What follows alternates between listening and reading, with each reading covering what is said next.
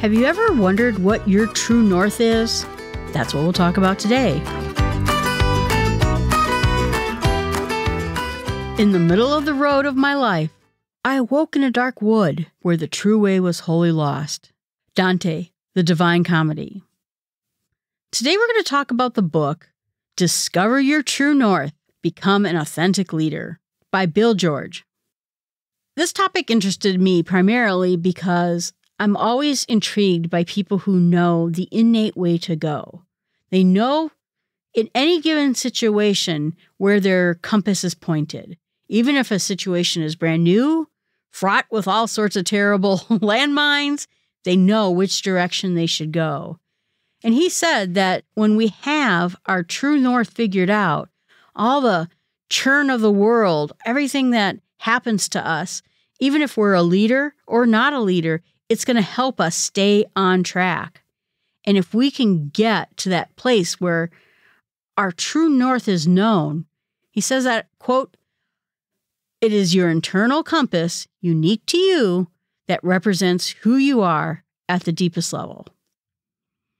He brings up William James, who's the father of modern psychology, and he said, I have often thought that the best way to define man's character would be to seek out a particular mental or moral attitude in which he felt himself most deeply and intensely active and alive. At such moments, there is a voice inside which speaks, This is the real me. And so the author wonders Has there ever been a time where you felt like this is the real you? And that a lot of leaders will go about it the wrong way. They go through all the trappings of being a leader, but it's not really who they are. You think about all the crisis the Enrons of the world. We just had the FTX scandal. And you wonder are those people even leaders at all? Or did they hang their star on some sort of rocketing thing? They never had a true north to them. They never had the thing that made them them. And so when they got thrown around by a fast expanding business, the opportunity to commit crimes or to rip people off, so that their lives could be better, they took it because they had no true north. I said this before when it came that the hardest person you're ever going to have to convince is yourself. Well, he says the hardest person you're ever going to have to lead is yourself because you're the one who's going to have to fight whatever is going inside of you, whatever battles are going inside of you, and follow your true north. He says over time, some of these true north of a good leader changed quite a bit. It used to be that you should have been charismatic, self interested, short term thinkers who had a very hierarchical leadership inside your own business. We're going to talk about this inside and outside of business, but now modern leaders are purpose driven. They have a big vision. They look at the institution's best interest and they're thinking long term. I wonder how much of that is really true because businesses seem in general to be rewarded for short term thinking. I'm going to jump on that next bandwagon. I'm going to take that next trendy thing and go with it instead of really thinking long term. I hope what he's saying is true, but I'm not sure about that. He said that in the end, we have to be responsible for our own development. You know, it's nice when we have mentors and we look to other people to help us in our growing as a leader but instead, we're going to have to grow ourselves to be leaders. He says that people who are leaders are not born to be leaders, but they grow themselves into being leaders. And they get there by understanding their own life story. When you understand what brought you to this point, the difficulties you had, the struggles you overcame, that's when you're really going to come across and find your real leadership story. And that made me think a little bit. You know, I mentioned before I came from a very chaotic upbringing. I didn't have a lot of resources available to me. And so I think the message to me when thinking about my leadership style now is that I had to get there on my own. I had to find my own way. I had to use my resources and creativity and ability to learn things so that I could keep learning keep growing and keep going about it. So a lot of my leadership has to do with that struggle of myself and that struggle to really overcome the problems I had and not fall into mistakes I also previously made. When he says we're able to reframe our story into the thing that really burns inside of us and understand our past, understand where we're at now, and also look then with our eyes towards the future, that's when we're going to know that we will be able to be a true leader and we'll know what our true north is too. But the problem is with leadership is that we think it's a one-way rocket ship, but it's bouncy. We build certain characteristics and then we have something happen to us. We fight through that issue and we step up to lead. Then we have this horrible thing happen to us and then we're brought back down again.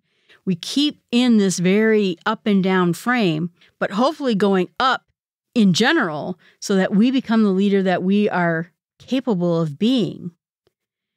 And then when things go wrong, we have that strength and that we have that ability to bring out all the things that we had as children, we had as young adults, all those visions that we had, and then refine the lessons of our lives as now being older people than we were when we were children, who are willing now to take all the risks, be courageous, and focus on the things that are really important. If we dwell on all the negative things in our lives, if we get overwhelmed by all our fears in our lives, we will go nowhere and just live a fearful life. That's a way of taking the message of our youth and letting it destroy us and learning the lessons that were meant to be learned through them. So he challenges us to look at the patterns in our life and look at the people, the things that happened that shaped us in our early life and what's the story? What's the message? What were those times where you really fought through something and came out the other side? And now, when you think about it, was a fantastic experience, despite the fact that maybe it was stressful. So, by taking that reframe on our earlier lives, on the lessons that we learned, and then taking that mature view of it so that we can actually then alter that so, for example, for me, like I said, I learned in my life that I could get through anything. I could research through anything. I could somehow figure a way to make it work. But what's the problem with my message? I, I, I, I, I. There's no community there. And I know this is a weakness with me that I tend to think of all the things I can do. Rarely do I think about people in my life who could help me get there, asking for help, asking people if they want to join me in something. And that has always been a blind side for me. So I will never be that true North leader while I don't work on the things I learned and make them improved. He said that's how we can actually become authentic leaders. Some ways he said that people fail in becoming authentic, true North people or becoming authentic leaders is that you can lose touch with reality, he says, that we no longer are grounded in the real world anymore. And you can see that. I don't know if you've ever talked to someone who's high up, maybe in your company, or someone who became very important. And I've even listened to podcasts where they talk about life and what it is to live life. And you realize that they have no idea how the regular middle of the road human being works anymore. They are so well out there, they have lost touch with reality. It says that sometimes people can get overwhelmed with feeling like they're failing. Maybe they can get broken in by that desire for success, you know, where they just get greedy, maybe not for money, but for power, or they just can't live without that next success. He says that it's also lonely for to be leaders. And so sometimes people fail because they're just living in a castle of their own mind, that they are no longer in touch with a community anymore. So he said that if you feel like you're losing track of your true northness with some of these shortcomings or failures, it's time to tackle them. He says sometimes there are people who are imposters who just lack self awareness. They don't even know what's behind them anymore. Maybe they got promoted and it was before their time. They were never a good leader. They were never able to inspire other people. And it's because they maybe didn't go through that self awareness, that examination of who they were as a younger person, how they got to where they are. And now they feel like they don't deserve what they have. He says there's rationalizers who basically give up on their values. They no longer stick to the things that were important to them because they'll say, Well, I know I told myself I would never lie to a customer, but you know what? In this case, it was really important that I tell them something that the company wants me to tell them. Mm, now you've merged away from the very values you have. He says there's glory seekers who just want to get fame. They just want to get praised by other people. And then there are loners who just don't build that community around them with the social structure, with the friends, with the people who can help them reach that next level. And then the last one he says are the shooting stars who just are off like a rocket. Like I said, maybe they got promoted ahead of their time. They're a shooting star in the company, and everyone's thinking, wow, that person's amazing. Last week they worked in the mailroom and now they're the CEO. But did they deserve the thing they got? Or did they get there through an honest method?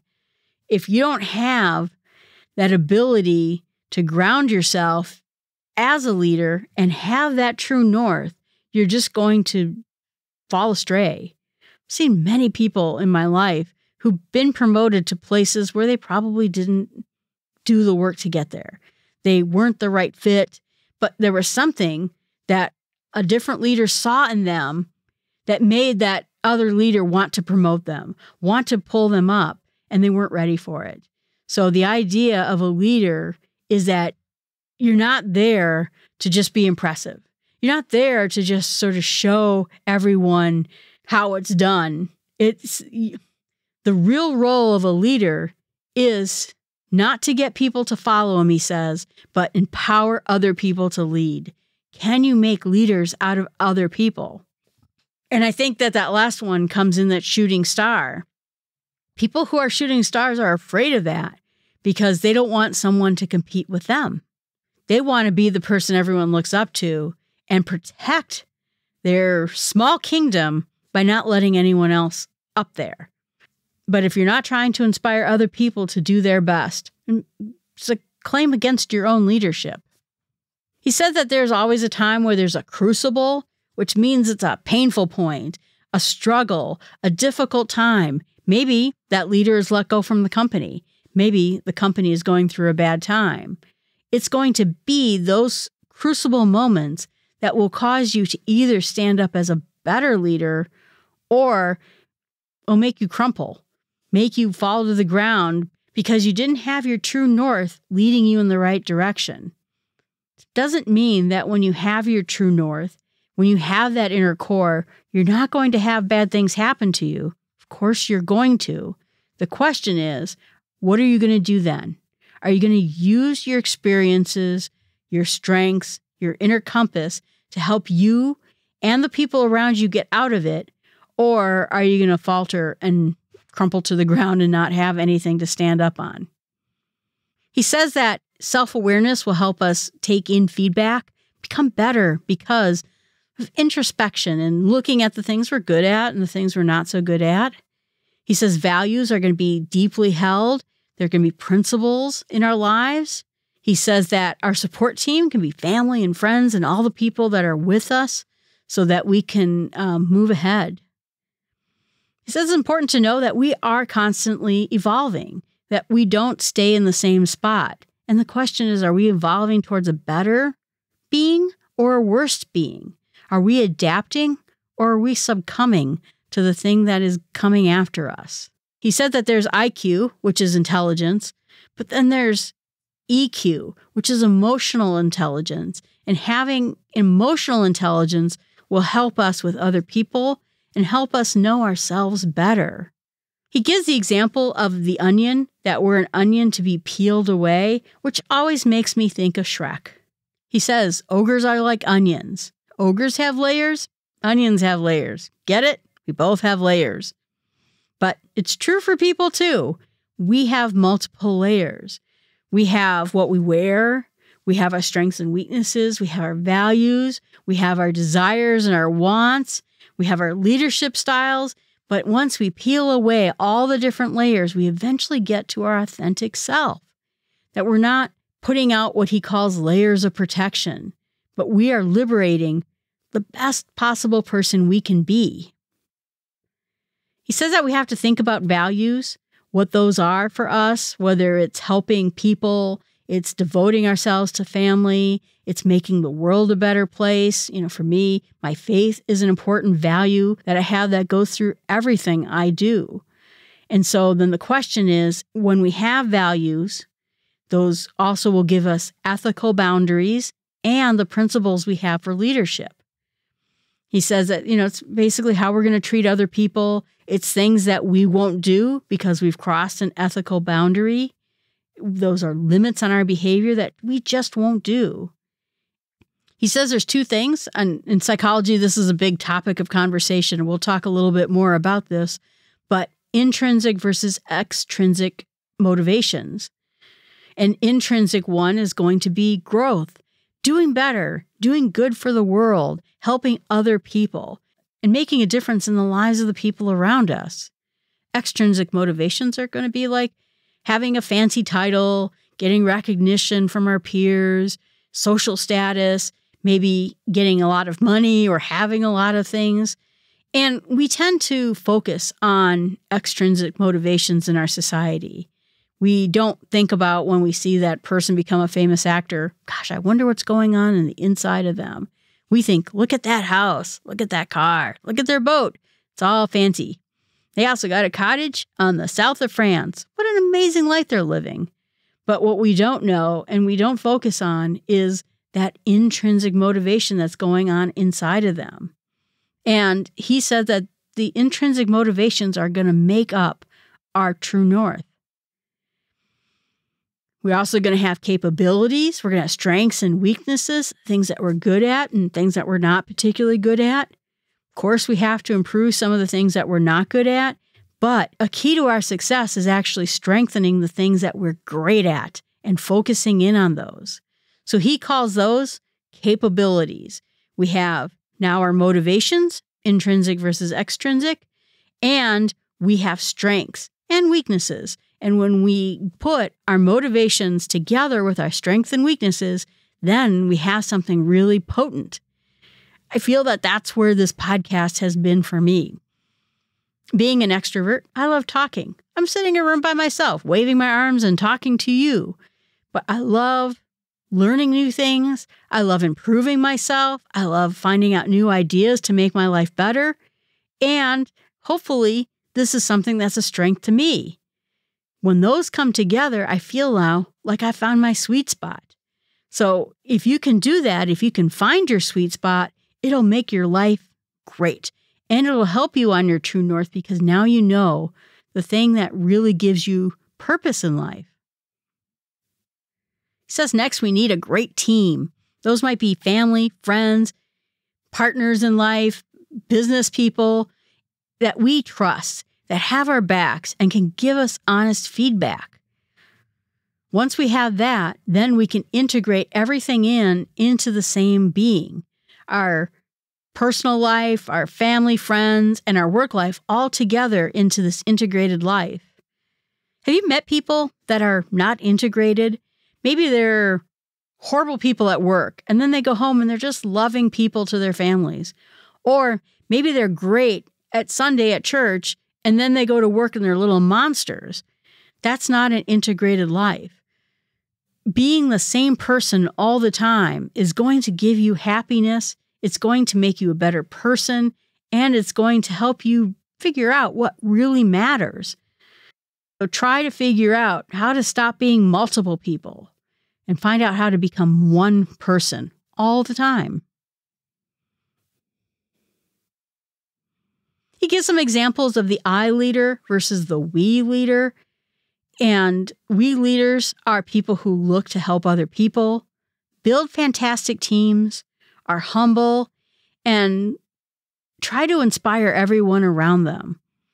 It's an important method, I think. You can always see the people at work who are I leaders, and it's all about them, and it's all about their work, and it's all about their things. But when you meet someone who is that true we leader, you appreciate them so much more.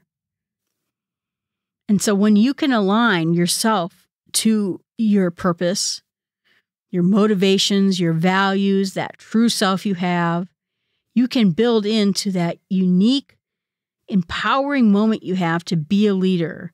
It will make you authentic because people know that you live the life you look like you're trying to lead, that you're good to people all the time. You listen to people, learn from people, and you're able to treat other people as equals when you are the kind of leader whose true north is not afraid of being challenged, not afraid of being taken on by other people, that's when you're really going to start glowing, I think, as a leader, because now you're that single solitary human being who can take on whatever challenges come your way. He says that there are leadership styles. We talked a few episodes ago about your work styles, but it's something like some people are very direct and are very rule based. There are other people who are great at engaging other people and sharing values and purpose. There are other leaders who are fantastic coaches. There are some leaders who are great at building consensus and building a team like environment. And there are people who are great to bond with and, and you feel like you're on the same page with. And then there are some leaders that are experts. They're competent, they're very good at what they do, and I've had the pleasure, I think, of being around every one of these types of leaders. And not any one of them is bad, but sometimes they're the wrong leader at the wrong time. You know, for example, I saw someone who was struggling to be a leader because he wasn't coming up with new ideas. But you know what he was great at? Which was he was great at building a team that all worked cohesively. But I think that at the point, that's not what they were looking for. They needed ideas. So sometimes it's the right type of leadership style in the right place and being that kind of leader. If you know what you are and you have your true north set in you, you'll know the kind of leader you are. And maybe you're a great leader, but you're not a great leader in this spot at this time, or you're exactly the right person you need. So, your leadership style will help you in determining what kind of leadership you can provide to a company. So, my challenge to you is try to build out that true north compass. Try to figure out what your intrinsic and extrinsic motivations are. Try to figure out what your strengths and weaknesses are, just on a light jotting scale. And then look at the principles and values and ethical boundaries you have. And then just a quick question Do you think you found your sweet spot? Do you think that you have an integrated life where you're living this true north all the time. Everyone, thanks so much. I appreciate you listening. I hope that you tell a friend about this podcast. It would help get more listeners to this podcast. And if you have anything you want to say to me, any comments you want to make, or you have ideas for a topic you'd like me to tackle, I'm Jill at smallstepspod.com. And remember that you can find your true north by taking small steps.